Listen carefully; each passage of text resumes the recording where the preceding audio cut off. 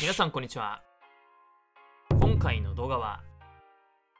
ブルーロック最新252話を紹介していきます。最新話の前に紹介する前回のあらすじを見なくても良い方は下の概要欄に最新話の内容まで飛べるリンクを貼っておきますのでぜひご利用ください。あとこの動画を最後まで見ててもらった方は高評価よろしくお願いします。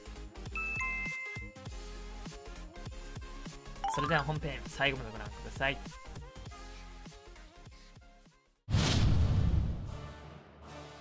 前回の251話では予定通りリンのカウンターからスタート。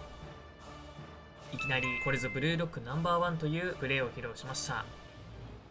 タッチドリブルテクニック読みリンとしては自身が今兼ね備えているものを存分に発揮しいきなり3枚抜きリンの前に立ちはだかった国神来地熱。計3名は手も足も出ず撃沈。その後第7戦目の内容からリンのサポートに回っていることが判明した七瀬が登場。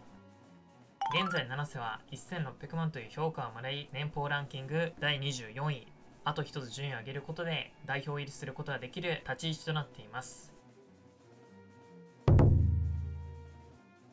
七瀬としてはカイザー戦からのリンと合流ということで一緒に前進していた模様。なお前回の251話では最終セレクションからのリンと七瀬の関係性が特集されていました。先ほど話した通り第7戦目の内容からリンのサポートに回っていることが判明した七瀬。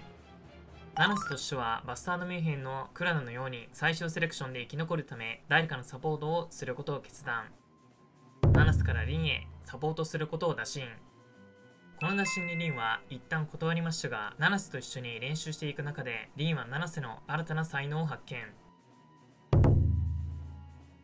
リンの指摘により七瀬は最終セレクションから左足でも右足のようなプレーができるようになり覚醒これによりリンは七瀬の下打診を承諾以上のような形でリンと七瀬の最終セレクションからの関係性が特集されていました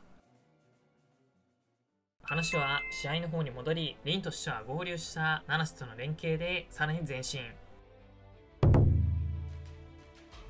途中七瀬がボールを持った際にキュアラとメンサーの2枚の壁が来ましたが、なんとかかわし、リンへのラストパス成功。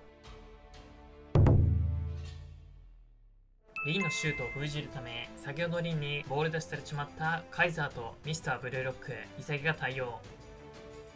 この2名の対応により多少リンの妨害をすることができましたがさすが現ブルーロックナンバーワン即修正し右足でのシュート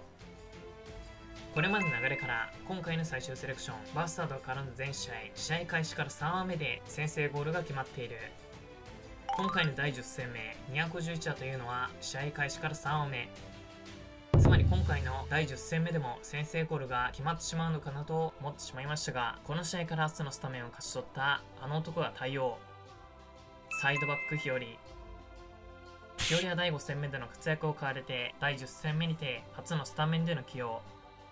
日和としては左足でリンのシュートをブロック。早速サイドバックとして活躍することができ前回の211は終了しました。ちなみに七瀬の代表入りは可能なのか？今回の最終セレクション潔のサポートをしている黒田の年俸推移。第3戦目での活躍により2400万の新規入札。第5戦目での活躍によりプラス1000万となる3400万の新規入札。このようにサポートでも全然3000万以上の評価がもらえる。七瀬がサポートをしているリン。現環境ブルーロックナンバーワンであることからまたリンを軸とした攻めがある可能性あり。そのため再びナ瀬からリンへのパスが通れば最後の最後で代表入りという下克上が可能。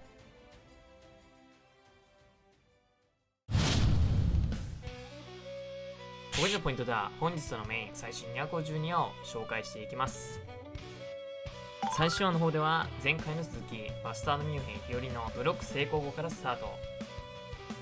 先ほど紹介した前回の内容から日和のブロック成功後ブロックしたボールの行方が不明となっていましたが今回の最新話にてボールの行方が判明。日和のブロックしたボールはルーズボールに今回の局面で全てを読み切りブロックに成功した日和最新話の内容からルーズボールとなってしまいましたがこの読み切った勢いで日和からのカウンターで前進していくかなと思ったしかしこのルーズボールに対応できたのは日和ではなく違う選手。パリエクスジェン、カラス旅人。カラスと日和は今回のプロジェクト開始前からガンバ大阪のオマージュチーム、バンビ大阪というチームで一緒にプレーしていた先輩後輩という関係。そのため、今回の最新話では、日和の回想シーン以来となる2名の絡みが少し描かれていました。そんなカラスのボール出し成功により、攻撃が継続できたパリエクスジェン。カラスとしては速攻、自チームの司令塔であるシャルルへバックパス。シャルルにボールが渡ったということで、ここからパリエクスジェンのゴールへの方程式。第7戦目の内容から、シャルルからの意図しで、シャルルからの指導流星、上記の2パターンで得点を奪っていた。実際今回の盤面では、どっちのケースで得点を奪いに行くのか。潔としては、シャルルがパスを出した方向からリンかなと思い、引き続きリンをマークしていましたが、シャルルがパスを出した先には、リンではなく別の男、パリ XJ もう一人のストライカー、指導流星。このシャルルのパスに対して、指導はヘッドでダイレクトシュート。1対0とパリ XJ が先制に成功したところで、252話は終了しました。今回のゴールによる指導は最終セレクション通算4ゴール目。第4回目の年俸ランキングの関係から1500万以上のアップ差で確定。しかし今回のプレーは現状ブルーロック組の中では指導にしかできないプレーそのため通常の査定よりも少し上乗せインフレのことも考えてプラス2000万から3000万あたり。現在パリエクスジュンから1億という評価をもらっている指導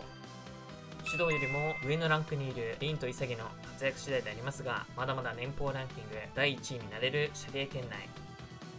ノーアンゴールと決めればワロー超えはできるかも。しかし1試合で1億台からプラス5000万アップ。現状このケースは存在しないため指導が第1号に。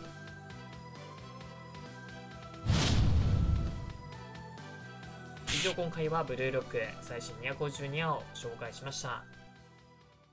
今回の最新話にてパリエクスジェンが先制ゴールを決めたということで次回からはバスタードボールで試合が再開します。